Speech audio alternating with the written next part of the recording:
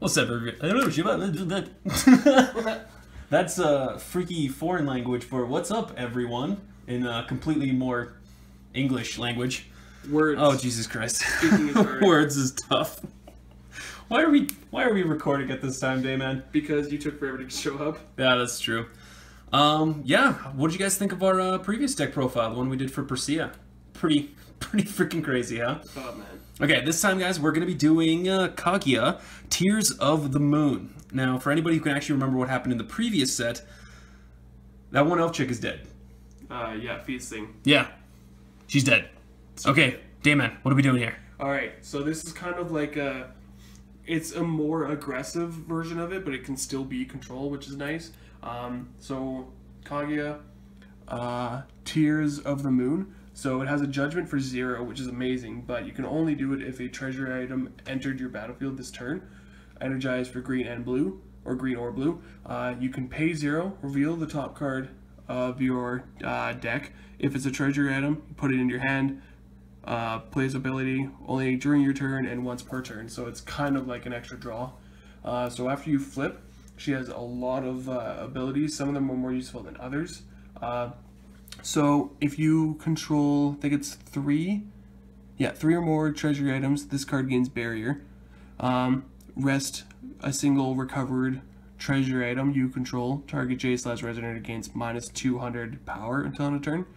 Uh, rest two recovered treasury items you control, produce blue or green. Rest three recovered treasury items you control to draw a card. Rest four of them.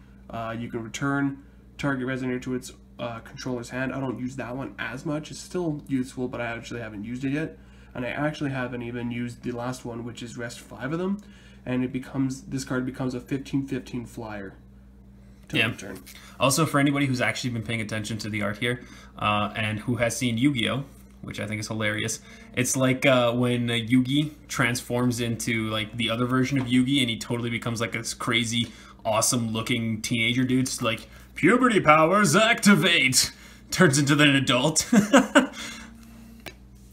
okay, we have vibrations. I'm going to do that.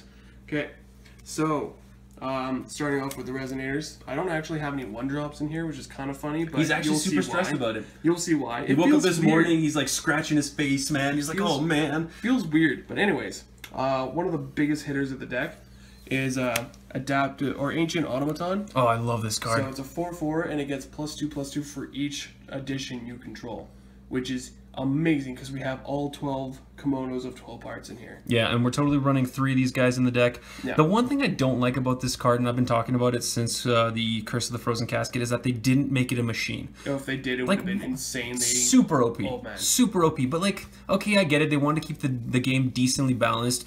Persea's deck is totally over P. Over P. Overpowered. but, like, this is just so silly, man. Like, why do we need a new classification? Has there been any other automaton since this came out? Uh, no. No, there hasn't. So, whatever. This is dumb. It's the same thing with the, oh, this is a magic stone, but really it's a fire magic stone, so we're gonna, you know, split hairs over ridiculously detailed crap. Anyway, really nice card design. This thing's ridiculously OP in this deck, and you'll see in a second here. Okay, so next one is Will O'the Wisp. It's a 1-1, uh, blue, white, has just barrier, flat out. Uh, when this card is a field, draw card. Whenever this card is dealt damage, you gain that much life. Cool. And just like with the previous card, we're running three of these bad boys. Yep, we have a search mechanic in here, so we don't really need too many of them. Um, running four Glistening Chick. It is a two-drop, 5-5 flyer, treasury item, slash bird. Whenever this card becomes rested by attacking, blocking, resting with Kaguya, whatever, you may rest target resonator. Yeah, and uh, one thing I've been noticing a lot for this set so far, just looking through the cards and the decks that we've been putting together, they really like this whole, um, like, uh, duality of typings. Hey, Yeah. like we've got those creatures that are also specific magic stones. We've got these guys which are also specific treasury items, right? Yeah. Cool. So we got four of those bad boys. Next one is Kaguya Lunar Researcher. So her in creature form, uh, three drop flyer. We're being interrupted. Okay, guys, we were actually just interrupted by a buddy of ours, Santa here. Santa, not Oh. Santa, Jesus. Same guy. Actually, Jesus is just Santa in disguise. Uh, so the last creature we were dealing with here is Kaguya's Lunar Researcher, or Kaguya Lunar Researcher. Yeah, Dayman, what does it do? Uh, so it's a three drop and uh, flyer. Uh, it can be one cheaper if you have a moon, but we don't do that. And then whenever a uh, addition is bestowed to it, you can untap it and attack again, and then again, and then again. Awesome, we're running two of those in the deck. And uh, just as a bit of a plug right now, this episode is being fueled by McDonald's.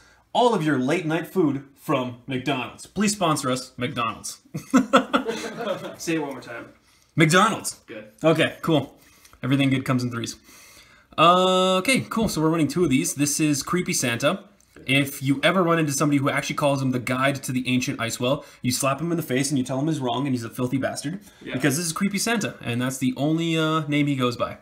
Cool. And uh, so yeah, this is why we call it. Cool. Uh, and his ability is whenever you play a water chant or addition, target resonator cannot be blocked until the end of turn. God, I love this card. If I could, if I actually played blue, I would put Creepy Santa in every deck. So we run two Creepy Santas. Because you can search it out. Classic. Okay, what does this guy do, Dayman? Uh, what is it? Arthur Pendragon, King of the Round Table. King Uh, of the Round Table, I'm it's a learning to read tonight. It's a 12-12. Uh, so this card cannot be targeted by fire, dark, or fire or darkness spells or abilities. Which is oh freaking amazing because those are like 90% of your kill spells. yeah. So like uh, the chimeras from that that one deck can't fucking Yeah. can't touch it. Um, so also your opponent's resonators your opponent's control must attack this card if able. So if it's rested, they can attack. They have to attack it, and you have a way of resting it with tap. Uh, target resonator uh, gains plus 800 defense until end of Yeah, so you can just tap him to do him that, self. and then he has to be attacked. Yeah, and if you have like a bunch of kimonos on it, Cool, running one of those. I think Dayman might have wanted to run more than one, but he couldn't find it in the shit show that is his card collection. Yeah. There, ladies and gentlemen, if anybody ever asks you, are there too many cards in the world? Talk to Dayman, because the answer is yes. yeah. Uh, and this is where we get into the. Uh... Didn't you have a cat at some point? No. Fluffy, we'll get you. we were we never found Fluffy. No. Fluffy was never found. No. Uh, so how many of these bloody things do you run? Uh, it's Kimono of 12 parts. I have all 12. Oh, shit. It says you can run 12 in your deck. Awesome. Okay, so it is called Water Kimono of 12 parts. It is a one drop chant, and it has the ability. Uh, you- it's, a, but it's a addition. oh, Yeah. Okay. Slash treasure item. whatever. So, anyways, I'm still playing Magic in my mind, so I don't even know, man. I still call things creatures and enchantments. I know they just don't call it that because they'll get sued. Exactly. Dude, wasn't there like a Magic card actually called Force of Will? It was like a blue spell or something. Yeah, yeah. And then uh, Magic tried suing Force of Will, and they're like, uh, the name is like a public domain, so you can't do that. And then it actually gave Force of Will like, um, Like a bunch of money. Did no, they not a counter bunch of money. Um, like, it was basically them advertising for them. Oh, nice. It was hilarious. Okay, okay, okay, okay. Back to this thing. Okay, so its ability is uh, tap to bestow, and bestowed resonator gains plus 100 plus 100 for each water kimono of 12 parts bestowed to it, so it has to be on the same creature. Uh, and when this card is bestowed to a resonator, if you control a resonator with 12 water kimono of 12 parts bestowed on it, you win the game. So, have That's there been. never gonna happen. It's, well, it might. You never know. It depends on how lucky you are in the game. But my question is, are there any other cards in the game, to your knowledge, that have the such and such you win the game con- condition on them? Not too many. Exodia! That's impossible! the twelve parts of of Exodia. Yeah. oh my god. It's like. What is it? The the neck bones connected to the whatever. Oh, Oh, fuck. God. Can you imagine if that's what they had to do in Yu-Gi-Oh? Okay. Yeah. Oh god, man. 12 parts of Exodia. Jesus. amazing. All right. So the next one. Yeah, classic. If you're not running this in a blue deck, you don't know how to run blue decks. Uh, this is Charlotte's Water Transformation Magic, the biggest. Fuck off, guys! I'm trying to say this. Uh, it's a chant, quick cast, remnant. Uh, target resonator loses all abilities and becomes a 400 400 bear until the end of turn. Just phenomenal card. bear. It's a bear running four of these bad boys. Is You should run them bear? too. Is it a bear who's running bear? It's a bear who's running bear. Turn a bear into a bear. Weren't there bear creatures in the There's curse? that uh, like five drop bear from Curse or whatever. What, like a what, how 12, strong is it? 12. It's like a 12 12, and then you use this on it to just turn him into another smaller bear? Just a bear who hasn't been going to the gym? Yeah. Oh my god. You've been in a coma for a month, Jim!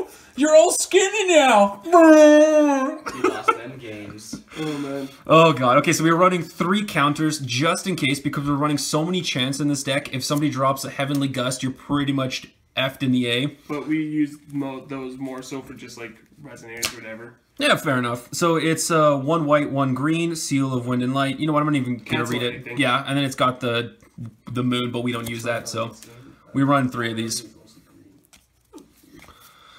Okie dokes, we are running three of these. It's a blue and a green. It's called Millennia Bond. It's a chant with quick cast. Choose one if you control a water resonator, J slash resonator, and another wind slash J slash resonator. You may choose both. Cancel target chant spell, shut the hell up. Draw a card or put a treasury item with a total cost three or less from your hand into your field. Shut the hell up. All right. And we're running three of those. Am I doing all the talking now, man? What the hell? Oh, I'll have a guess now. Oh, okay. Well, you know, you have to let Christ into your heart.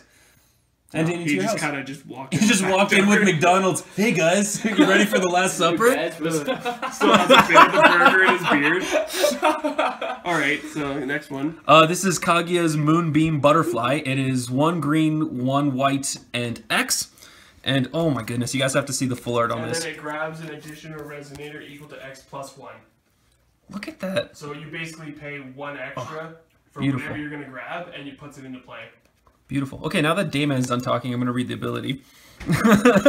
Search your deck for a resonator or addition with total cost X plus one or less, and put it into your field, then shuffle your deck. We're running three of these guys. It's amazing. It's a search. You should also run three in your decks. Basically, Also, like multiple copies. This episode is also brought to you in part by, you can't see it, this is just the top, by Dr. Zip.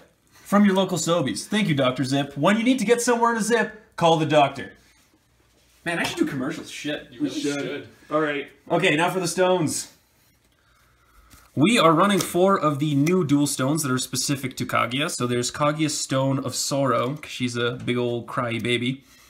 Um, if your J ruler isn't Kaguya, uh, Tears of the Moon or Kaguya Millennium Princess, this card enters the field rested unless you pay 300 life. So it's pretty much just like, what is it? A Uh, Pain Land from Magic. Pain Land for Magic.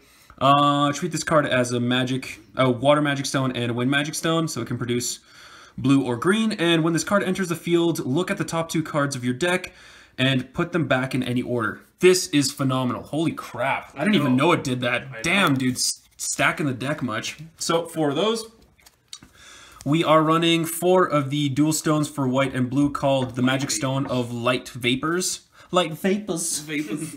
And uh, the only thing about this stone, like the art is beautiful. The only thing that pisses me off is that they spell vapors in the American way. Tisk tisk, force of will. Tisk tisk. Time to hit up a vape shop. Dude, we get it. You vape, okay? no, I'm Jesus. Dude, he vaped for our sins. oh, dude, no hate to Christians out there. You, you guys, you guys do you. Uh, and then there's Magic Stone of Gusting Skies, and it's the dual stone for white and green. Cool. Um, yeah. So if you were to nickname this deck, what would you say, Dayman? I have no idea. I didn't think of it. Uh, Kaguya's the power of Christ deck because of our surprise guest, uh, Jesus, joining us tonight. Um, yeah, It's just surprisingly aggressive. That's all. Yeah, it's like who knew? You give a chick the access to like eleven more pieces of clothing than usual, and suddenly she becomes a total powerhouse. Yeah, I know. Also, giving her the ability to just suddenly go through puberty. I just I love that. It goes right back into the Yu-Gi-Oh theme of this episode.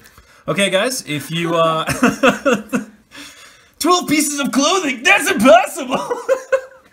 okay, this this video's already gone long enough, guys. Like, subscribe, do whatever you want. Call your mom, call your dad, tell them that Kaguya's in town, and tell her that she tell him that she's pissed.